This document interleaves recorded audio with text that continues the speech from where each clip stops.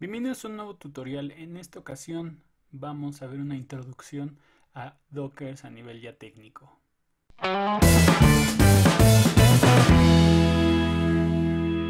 Ya teníamos previamente en el canal un video de introducción de cómo funciona la teoría Docker y el tema de los contenedores. Sin embargo, en esta sección de mi primera vamos a realizar nuestro primer contenedor, ya técnicamente hablando. Entonces vamos a empezar a trabajar. Lo primero que necesitamos es eh, ir a la página de docker.com. Estoy en Windows, necesitamos descargar toda la parte del engine de Docker pues, para poder empezar a crear nuestras imágenes y contenedores. Entonces vamos a ir aquí a Docker for Developers eh, en docker.com diagonal get started y aquí vamos a descargar la versión para Windows. Esto me va a llevar a esta parte, al hub, a la, tienda de Docker. Ya estando aquí en, esta sección, vamos a descargarlo en la parte de abajo, Get Docker for Windows. Listo, ya descargó nuestro ejecutable, vamos a correrlo.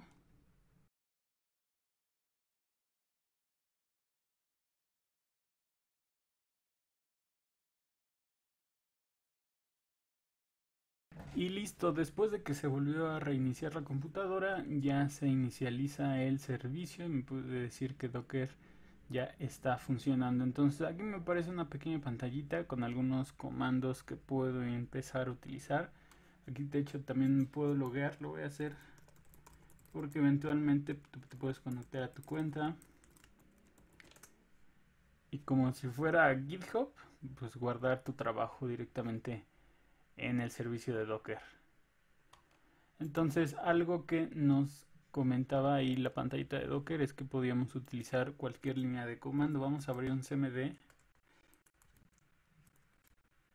Puede ser un CMD o un PowerShell y dice Docker version. Entonces, si se instaló correctamente Docker, podemos ya empezar a ver que nos sale cuál es la versión que tenemos 18.06 etcétera. Entonces qué es el siguiente paso o qué es lo que sigue después de esto vamos a ver vamos a seguir un poco el tutorial que viene en la página de, de docker. Eh, déjenme ver dónde me quedé.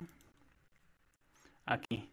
Entonces una vez que ya ya descargamos la aplicación vamos a ir a docs.docker.com Docker for Windows. Y este, digamos, es como que el pequeño tutorial de eh, pues para, para, Windows. Eh, y hay algo, hay un ejemplo muy básico que nos pide realizar pues, para saber que todo está saliendo correctamente y le llamamos el Hello World o cómo hacemos un hola mundo en Docker. Un hola mundo en Docker significa que, que descargamos una imagen y creamos un contenedor para mostrar un, pues, un mensaje de hola mundo. Entonces aquí lo que me dice todo eh, la sintaxis para manejar Docker a través de la consola empieza por la palabra reservada Docker. Después vamos a ponerle run. Este es un comando que me va a permitir ejecutar un contenedor y aquí me dice que ejecutemos un hello world, así, hello world. ¿Listo? Vamos a darle enter y primero vamos a analizar qué es lo que está pasando. Primero me dice que no encontró la imagen. Vamos a subirla. Me dice que no encontró la imagen de forma local. ¿Esto qué quiere decir? Que entonces va a hacer lo que le llamamos un pooling. O va, va a traerlo del portal del hub de Docker en donde está la imagen. Library Hello World. Me dice que el pool ha sido completado. Ah, ah, ah, y listo dice hello from Docker. Dice, este mensaje muestra que tu instalación aparece que parece que está trabajando correctamente. Y todo este texto es parte, digamos, del output que está generando nuestro contenedor Hello World. Ahora, si ustedes han llegado hasta este punto, quiere decir que ya corrió correctamente eh, ya Docker sobre su computadora y vamos a empezar a trabajar con algunos comandos básicos. Lo primero es saber pues el tema de las imágenes y los contenedores. Entonces, esta es una imagen que acabamos de descargar, este Hello World. Y como podemos ver las imágenes que tenemos, vamos a escribir docker espacio image ls. Entonces, nosotros lo ejecutamos y me sale una respuesta. Bien, mi repositorio se llama Hello World, es la imagen. Eh, este es el ID, es muy importante, siempre ubicar el image ID y eh, dice cuánto pesa. Realmente esto no pesa nada. Y también podemos ver el tema de los contenedores. Entonces, si yo escribo docker ps, aquí no me sale absolutamente nada porque digamos este, este script de hello world se ejecuta y termina automáticamente. Entonces podríamos ponerle menos a y aquí me dice todos los contenedores que tengo disponibles que no significan que se estén ejecutando forzosamente actualmente. Entonces aquí está el ID de nuestro contenedor y aquí hace referencia a la imagen que se usó para montar este contenedor. Se llama Hello World, el comando Hello, creado hace un minuto y terminó hace también un minuto. Entonces, digamos, estos son dos, eh, dos, dos, dos, dos, comandos básicos, tanto el, el docker image como el docker ps para poder, eh, digamos, ver lo que tenemos en Docker. Entonces, ¿cómo funciona esta parte del Docker? Lo que voy a hacer es, voy a abrir esto acá en una nueva página. Y de hecho ni siquiera voy a hacerlo así. Lo que voy a hacer es escribir docker hello world para entender cómo es que se ejecutó, eh, digamos, este pequeño mensaje de hola mundo, para entender cómo funciona una imagen en Docker. Entonces voy a darle clic. Entonces si se fijan la URL me manda a hub.docker.com y bueno aquí voy a buscar de nuevo. Entonces aquí me salen con repositorios como si estuviéramos hablando de GitHub. Estos son repositorios que varios usuarios han subido a sus cuentas y que pueden ser accesados de forma pública. El que nos interesa es este, el oficial, Hello World Official. Entonces este es digamos la imagen que nosotros descargamos a través de Docker y ejecutamos en nuestra computadora. Aquí nos dice que bueno esto es, está sobre un sistema operativo Linux. Eh, aquí dice alguna información adicional. Lo que me interesa es ver esta parte, example output. Entonces aquí me dice el comando que yo necesito ejecutar para correr este, esta imagen y crear un contenedor. Entonces este es el resultado de lo que me manda el ejecutar eh, este hello world, que es el mismo texto que tenemos aquí. Entonces, ¿cómo funciona exactamente este, este, digamos, esta imagen y este contenedor? Aquí dice cómo es creada esta imagen. Lo primero es revisar que, por ejemplo, el código lo tenemos en un repositorio de GitHub. Entonces vamos a abrirlo. Entonces, digamos, estos son todos los archivos que de alguna u otra forma generan la imagen en Docker. Aquí tenemos varias eh, informaciones y lo que necesitamos nosotros empezar a conocer es lo que llamamos el Docker file. Entonces, digamos, el Docker file es como nuestro template o nuestra receta que tiene que seguir Docker para ejecutar una serie de comandos y dependiendo de eso crear el contenedor que vamos a utilizar eh, pues, para el desarrollo. Entonces, si yo me, meto a este que dice dockerfile.build, voy a empezar a ver una serie de cosas interesantes. Lo primero es eh, este, este, digamos, esta primera línea que dice from. Este primer, digamos, comando significa a partir de dónde voy a empezar a trabajar en esta nueva imagen. Entonces aquí me dice from Debian stretch slim. ¿Esto qué quiere decir? Esto qué quiere decir que entonces voy a, digamos, a, trabajar como si habláramos de una herencia. Voy a heredar eh, lo que tenga aquí en Debian, que esto es un sistema operativo de Linux. Entonces, digamos, ese sería como el sistema operativo con el que voy a trabajar. Ahora, ¿por qué estoy utilizando Debian en este ejemplo? Eh, porque este Hello World lo que hace es ejecutar un archivo .c, es decir, un archivo en C, con un output con las instrucciones que vimos aquí en mi línea de comandos. Entonces, para ejecutar un archivo C, pues necesitas correrlo bajo un sistema operativo este, de Unix o Linux. Entonces, aquí vienen algunas cositas, por ejemplo, cómo configuras el sistema operativo. específicamente necesitamos GCC para poder correr eh, un archivo de C y poder compilarlo. Entonces, digamos, no, no quiero entrar mucho en detalles porque esto es demasiado avanzado para hacer el primer tutorial. Sin embargo, les cuento de una forma bastante eh, pues, general cómo es que está funcionando, digamos, este template al cual le llamamos Dockerfile. Entonces, solo es importante que sepan que para ejecutar un archivo C necesitamos el compilador GCC en Linux. Entonces, aquí es que vaya configurando toda esta parte. Eh, crea un archivo, workdir. Eh, le decimos a Docker cuál es la carpeta en donde vamos a empezar a trabajar en nuestro contenedor. Como estamos en un sistema operativo eh, Linux, la, la, carpeta raíz es user, usr, diagonal src, hello. Esta es la carpeta en donde va a poner la información. Este copy, ahorita lo vamos a ver más adelante, que tiene dos puntos, es copiar todo lo que hay en, el, en la fuente, punto, en el directorio actual, ¿ok? Y bueno, ya a partir de aquí es que empieza, digamos, a armar todo el ambiente. Y por último, aquí ya nada más me está diciendo cmd, es decir, ejecuta un comando o una línea de comando y manda llamar hello world hello. Así, esta es la instrucción para poder ejecutar un archivo en C. Entonces, si nosotros nos regresamos a la carpeta principal del proyecto de GitHub del Hello World, vamos a ver que aquí hay un archivo que se llama hello.c.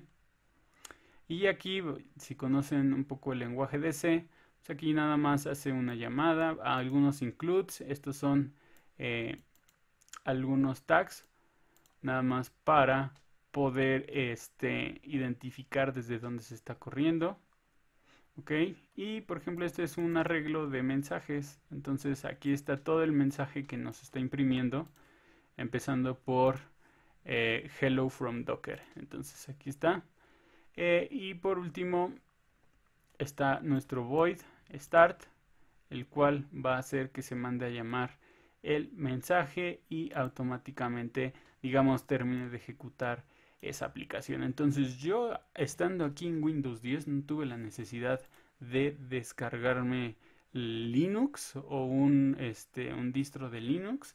No tuve la necesidad de ejecutar o de descargar herramientas para poder compilar un archivo en C porque ya esta imagen me lo, digamos, es parte de las, de las bondades que tiene Docker, ¿no? El hecho de que solamente tiene que jalar los componentes y librerías necesarias para poder ejecutar una aplicación, que en este caso fue un archivo de. Entonces, digamos, este es el ejemplo más sencillo en el que podemos basarnos para entender cómo está funcionando Docker. Yo lo que puedo hacer es volver a ejecutar eh, docker run eh, hello world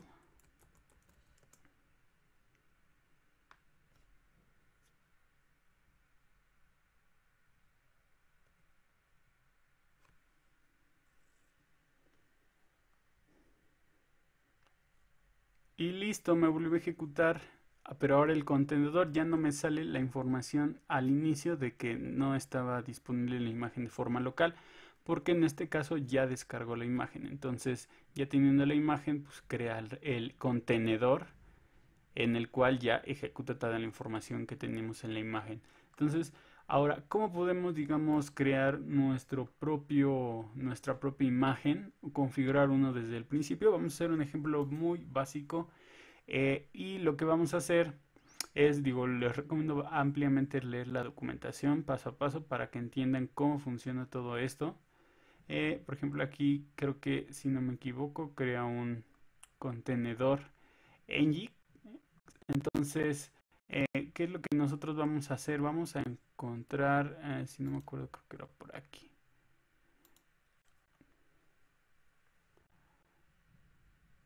Vamos a crear un pequeño ejemplo. Aquí está, get started with docker. Listo. Entonces en docs.docker.com diagonal get started vamos a ver la información básica desde el principio sin tener que entrar en mucho detalle de cómo crear nuestra propia imagen y nuestro contenedor. Entonces es muy importante hacer referencia a estos dos conceptos. Lo que es una imagen es un ejecutable, un paquete ejecutable que incluye todo lo que necesitas para correr la aplicación. Tanto el código, el runtime, las librerías, las variables de ambiente y los archivos de configuración. Un contenedor es una instancia de tiempo de ejecución de una imagen, es decir, un contenedor es digamos el resultado de ejecutar una imagen. Eh, entonces, digamos, eh, es, el producto de, de la imagen. Entonces tú puedes nosotros podemos ver, ya vimos, la lista de contenedores bajo el comando docker ps. Ok, y aquí hay una diferencia bastante sencilla. Este ya lo hablé en el, en el video donde explico la teoría detrás de los contenedores y la diferencia con las máquinas virtuales. Pero bueno, aquí nos enseñan un poco de cómo eh, instalar y algunos, algunos comandos pequeños. Por ejemplo, docker versión, docker info, docker run hello world, etc. Entonces vamos a ir a la parte 2 porque esto ya está bastante sencillo. Entonces, lo que les decía, nosotros partimos de un template para crear una nueva imagen y a partir de ahí un contenedor. Entonces, lo que necesitamos hacer es, por ejemplo, en este tutorial nos enseñan a hacer un ejemplo de un servidor, eh, de un servidor web con Python y la librería de Flask y Redis, Redis para la base de datos entonces vamos a hacerlo. Lo primero que necesitamos es, de la misma forma que aquí utilizamos en nuestro Hello World, un archivo que se llama Dockerfile, vamos a crear también un archivo así. Entonces yo lo primero que voy a hacer es abrir, en este caso mi editor de texto, que tengo Visual Studio Code. Voy a crear un nuevo archivo Ahora, ¿dónde lo vamos a guardar? Vamos a buscar una URL rápida. Entonces, vamos a ir a mi PC. Voy a ir a mi unidad de C. Y yo aquí voy a crear una nueva carpeta que se llame contenedores. Ok. Entonces aquí voy a poner eh, Python. ¿Listo? Entonces a este archivo le voy a poner dockerfile. Y listo plain text. me lo guardo como .txt. Necesitamos que este archivo no tenga extensión. Entonces vamos a ir de nuevo a nuestra PC. Y vamos a cambiarle aquí contenedores. Ah, creo que lo puedo cambiar aquí directamente. Necesito ver las extensiones. Properties. No, esto es en cada... Aquí está change folder, view, show hidden files, no, es más abajo, show uh, hide extensions, listo. Entonces le voy a quitar el txt porque no lo necesitamos. Listo, entonces lo volvemos a arrastrar. Ya tenemos nuestro docker file. Entonces, este es nuestro template, nuestra lista de ingredientes. Aquí nos da, digamos, un template ya listo para ejecutar. Voy a copiarlo para que les explique una vez que lo tenga aquí cómo funciona. Lo voy a guardar. Entonces, como les decía, lo primero que necesitamos es tener una base. Por ejemplo, en este caso necesitamos una imagen base de eh, lo que llamamos Python 2.7 Slim. ¿Cómo encontramos esto? ¿Cómo sabemos que tenemos que utilizar esto? Si nos regresamos y nos vamos más atrás en donde estábamos en eh, la parte de déjenme quito esto listo si nos vamos a hub.docker.com y nosotros pegamos nuestro nombre de la imagen aquí vamos a encontrar Python oficial entonces si vamos bajando nosotros podemos utilizar todas estas imágenes de Python entonces vamos a buscar la que, estamos buscando, 2.7 Slim. 2.7 Slim. Para que vean que aquí está ya una imagen que es 2.7 Slim. 2.7 Slim es una imagen de Python, digamos, compacta y ligera. Es decir, no te va a cargar todo el Python completo, sino solamente lo más básico.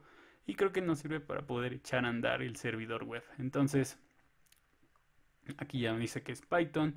Aquí me dice algunas opciones que puedo poner en mi Dockerfile para configurarlo y cómo puedo ejecutarlo. Hay varias formas de ejecutarlo y algunas opciones adicionales. Entonces vamos a regresarnos acá.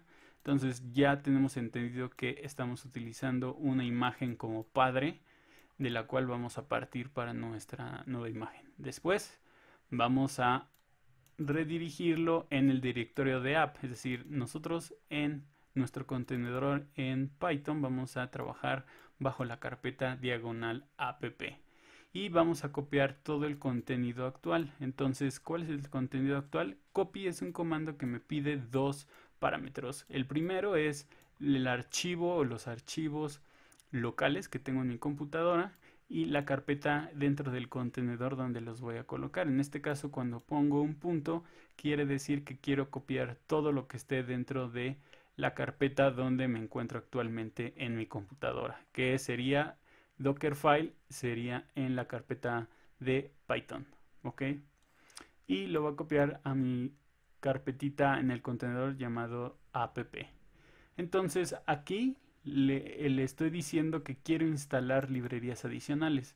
Para correr mi servidor web necesito un, digamos, dos librerías que aquí em, en mi pequeño tutorial me lo está pidiendo.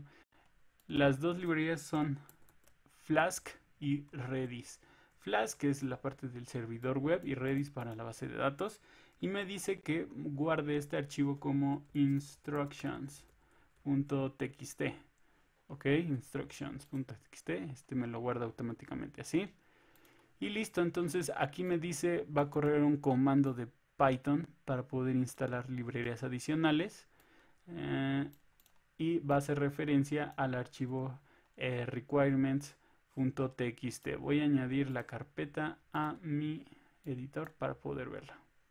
Ok, entonces ya tengo dos archivos, el dockerfile y mi instruction.txt. Después lo que hace mi eh, template de Dockerfile es llamar a expose, que es lo que me permite habilitar el puerto afuera del contenedor para poder ser accedido. Esto es básico para un servidor web y me permite aquí definir una variable de ambiente. Este no lo vamos a tratar. Name se llama world. Por último nos pide o le decimos que corra la línea de comando cmd python y ejecute app.py. Entonces, ¿qué es esto de app.py? Aquí en el tutorial nos dan ya el, el código, vamos a copiarlo y se los voy a explicar. Vamos a ponerle app.py source as listo entonces aquí en este archivo de Python ya estoy declarando todo lo que necesito para inicializar mi pequeño servidor usando Flask y Redis, importo las librerías, defino una nueva base de datos, defino una aplicación en Flask, hago un ruteo, defino mi eh, función de hello y nada más esto se supone que va a contarte en la base de datos el número de visitas que hayas tenido, pero nada saca eh, variables del sistema en la cual está corriendo el host, el puerto 80 y listo. Digamos, este es código Python para poder crear un pequeño servidor. Entonces lo que está pidiendo aquí mi Dockerfile es ejecutar el archivo app.py y listo, digamos esta es nuestra receta de cocina para crear un servidor web en Python. Ahora noten que yo en, este, en esta computadora con Windows 10 yo no tengo absolutamente nada de Python.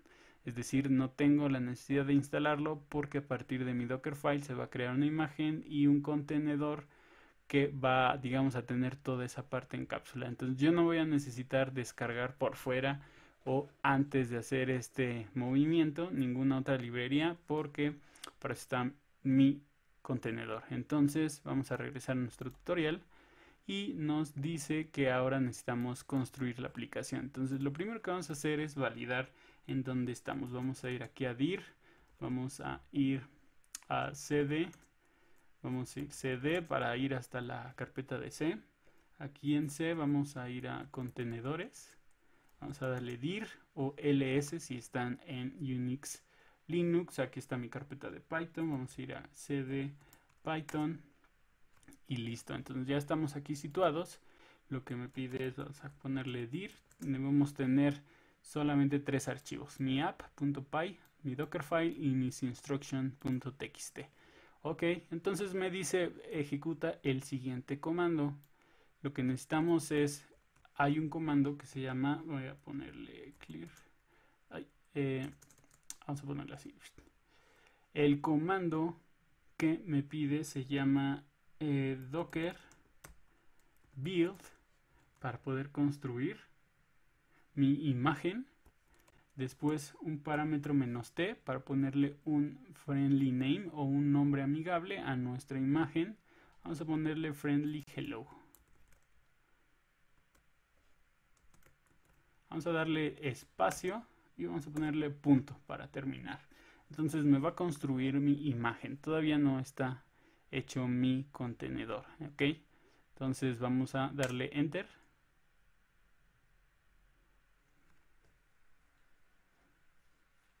Entonces, fíjense que me dice que está descargando algunas cosas, me está descargando todas las librerías de Python necesarias para poder funcionar eh, y para que pueda jalar mi servidor eh, web. Me dice que extrae, descarga.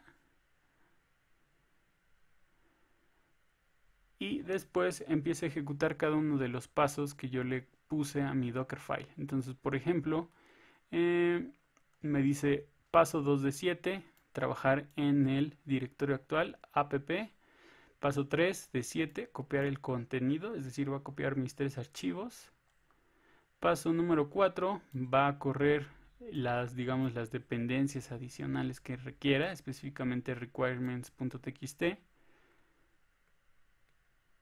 A ver, dice que aquí hay un error. Vamos a ver qué hay. Instructions, vamos a ver. Ah, le puse instruction y no requirements.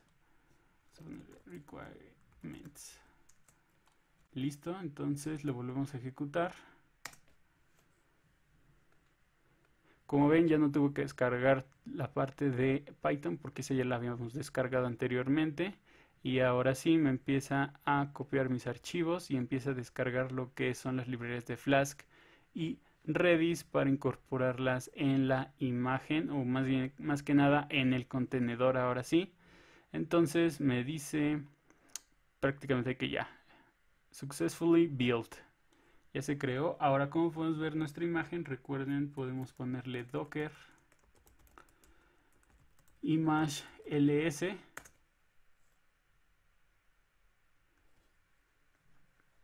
entonces ya puedo ver que aquí hay varias imágenes descargadas no solamente la de hello world sino también mi friendly hello creada hace 23 segundos eh, y una que dice python entonces esta es la librería, digamos la imagen que también tuvo que descargar pues para poder correr con lo de Python. Entonces digamos ese paso ya está. Y por último me pide correr mi aplicación. Entonces para correr mi contenedor, ya teniendo mi imagen, vamos a ver docker ps. Recuerden, ps es para ver los contenedores. Si le ponemos menos a, nos va a sacar todos los contenedores que tengamos creados específicamente aquí está nuestro contenedor si no me equivoco sin embargo no está ejecutado nada ok entonces vamos a correr el comando docker run menos p es el parámetro para indicarle que quiero abrir un puerto. 4080 4000 es el puerto interno y 80 el puerto externo y vamos a correr friendly hello.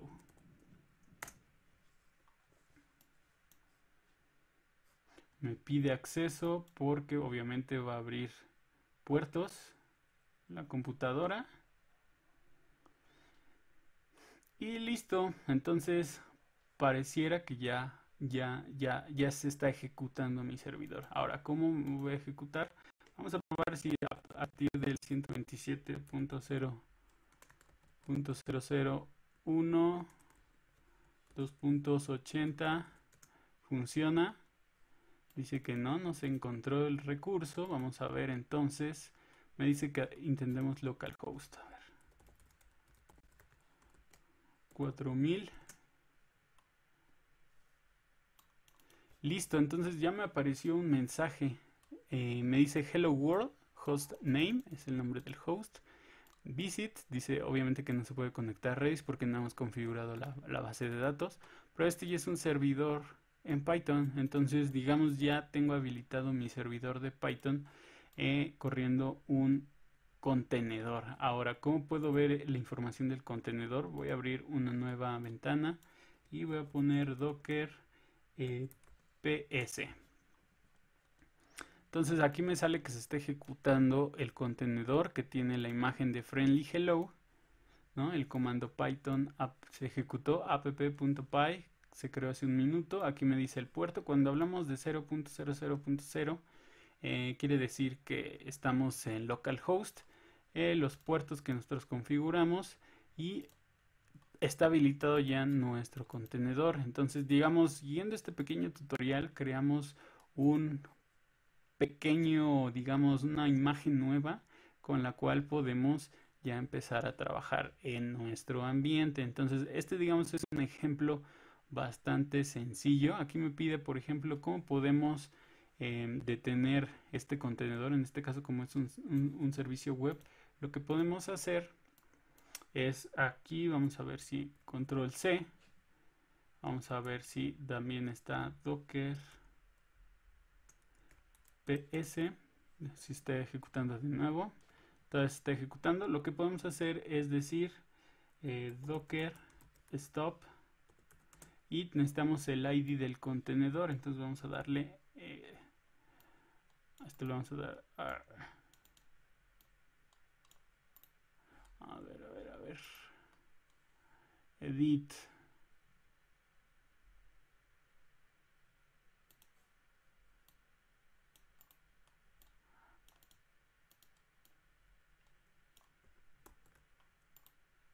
ahí está, listo. Entonces vamos a escribir docker stop y vamos a pegarlo. Entonces esto me debe detener mi contenedor.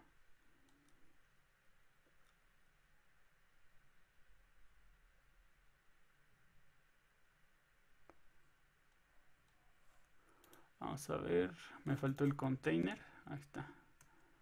Docker container stop. Ahora sí. Listo, entonces si vuelvo a ejecutar mi docker ps, ya no me sale que hay un contenedor ejecutándose actualmente. Entonces detuvimos la ejecución y por lo tanto si vuelvo a actualizar mi página ya me debería marcar un error o me debería de redirigir es porque ya no encuentra el servidor web en esa ubicación. Entonces así funciona la parte de Docker. Por último, digo aquí les recomiendo, como les decía, seguir revisando esta información. Ahora ya teniendo el primer ejercicio vamos a crear otro. Imagínense que quiero crear un pequeño servidor web con eh, Apache y con PHP para correr algún pues, archivo .php. Entonces eh, lo primero que vamos a hacer es yo aquí voy a abrir mi carpeta Aquí en mi carpeta de contenedores creo una carpeta que se llama PHP. Aquí no hay nada. Entonces vamos a empezar creando, por ejemplo, el index.php. ¿Listo?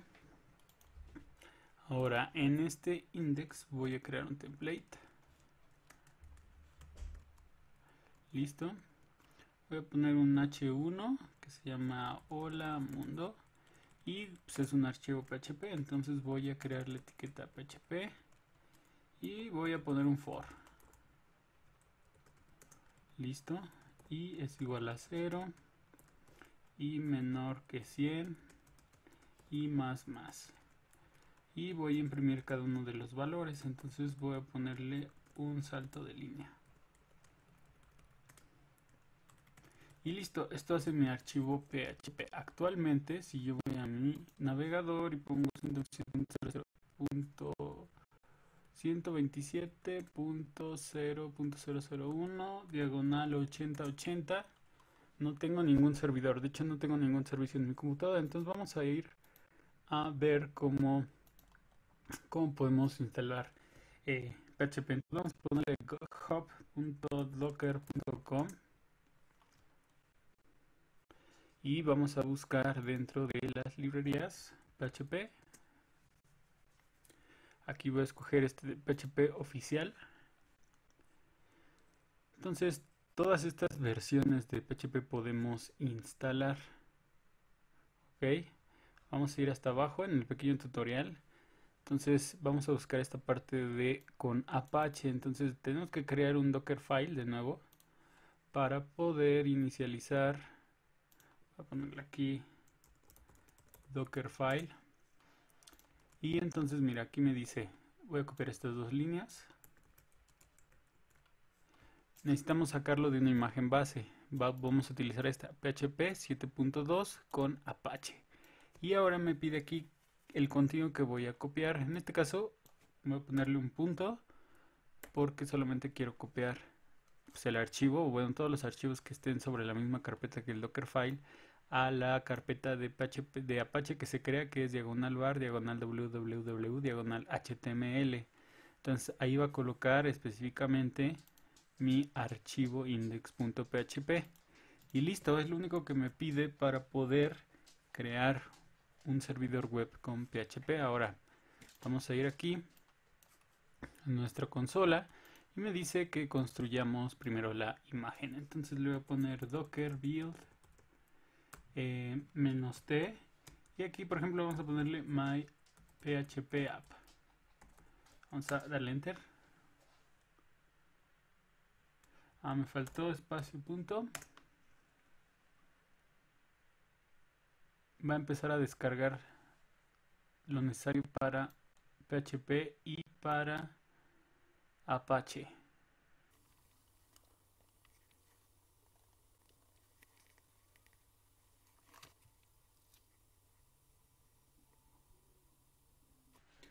Y listo, aquí me dice que ya se creó mi imagen. Entonces si yo pongo docker image ls, ya me tienen que salir mi nueva imagen que se llama my php app ok listo entonces ahora necesitamos correr un contenedor entonces vamos a ponerle docker run vamos a ponerle el parámetro menos d que es detachable de tal forma que digamos se ejecute el proceso en otro en otro hilo y digamos no me interrumpa el command prompt o el cmd y me lo deje todo todo friseado. Entonces vamos a ponerle menos d.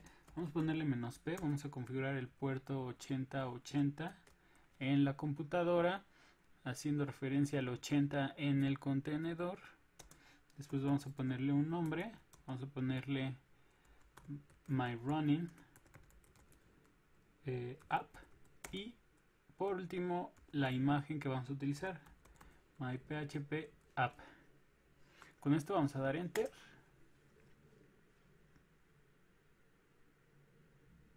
Y ya debería estar ejecutándose. ¿cómo podemos comprobar esto? entonces vamos a ponerle docker ps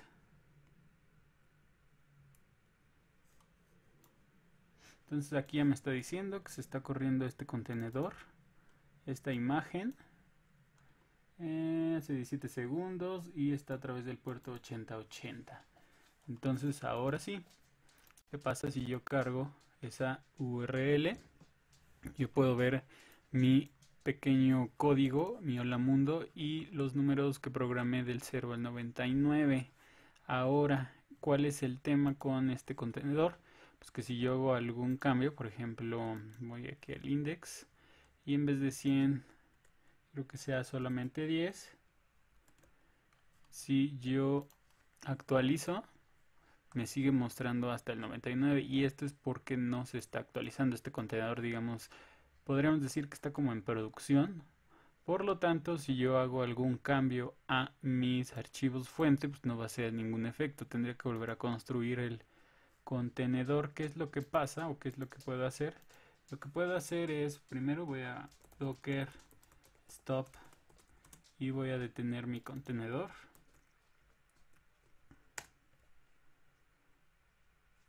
Listo ya lo detuve entonces si actualizo ya mi servidor no sirve. Y lo que voy a hacer es voy a volver a ejecutarlo se llama my running app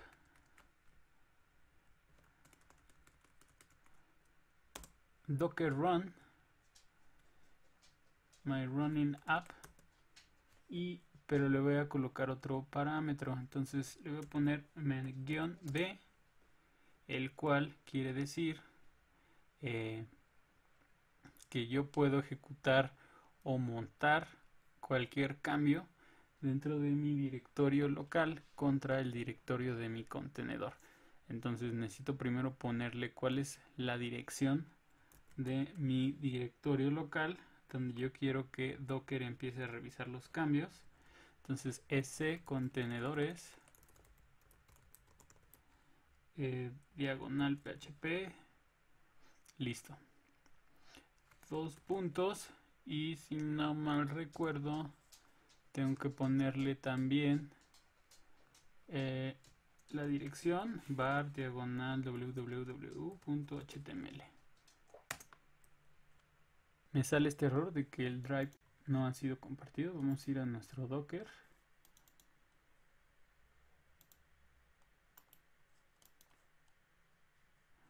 Y vamos a darle en settings. Me dice aquí shared drives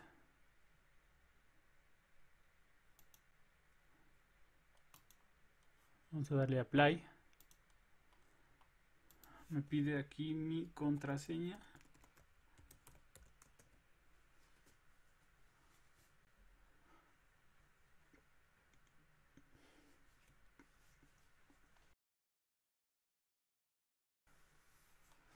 Listo, entonces vamos a volver a ejecutar el comando. name y my PHP app. Ya tengo ese, entonces voy a ponerle 02. Listo, entonces pareciera que ya jala. Vamos a ver. Si yo vuelvo a actualizar, ya me sale hasta el 10. Y sin embargo, si yo le cambio de nuevo ahora a 50, voy a regresarme y entonces ya me actualiza mis archivos. Entonces, digamos, si nosotros quisiéramos estar editando en nuestro contenedor la información, podemos utilizar este parámetro menos b con la dirección de eh, los archivos locales y e dos puntos la dirección del contenedor. Si nos saliera algún problema que de el volumen no ha sido compartido, podemos irnos a nuestras propiedades de Docker y hacer que se pueda compartir en este caso, por ejemplo, mi unidad C, que es la donde yo tengo toda mi información y de esa forma pues puedo estar editando, actualizando mi código, pero todo va a vivir dentro de un contenedor. Entonces, en el momento en el que yo ya necesite eh, hacer implementación o esté trabajando en un proceso de CI de ICD, entonces ya puedo apagar mis servicios o mandarlos, incluso subir esta imagen, subir la información o mover mi proyecto a otro lado y simplemente volver a crear la imagen, ejecutar el contenido y tener mi servidor disponible. Entonces espero les haya gustado este pequeño video, pequeño un poco largo, sobre el cómo funcionan los contenedores, cómo descargamos las herramientas, cómo creamos nuestras imágenes y ejecutamos los contenedores para que vean que en cierta forma requiere un poco de práctica, no es tan difícil, pero si queremos hacer algo más avanzado tenemos que empezar a, pues, a meternos un poco más en el tema del Dockerfile y hay eh, más herramientas que nos permiten integrar más servicios y personalizarlos a, a, una forma mucho más detallada. Entonces espero les haya gustado este video, no dejarme sus comentarios, todo lo que entendieron, seguramente van a tener algunas dudas, si no es que muchas. Y bueno, yo les iré ayudando en los comentarios. Recuerden dejarme el hashtag pregunta arriba para cualquier pregunta o duda, sugerencia que quisieran saber. Y bueno, si no hay nada más, nos vemos la próxima.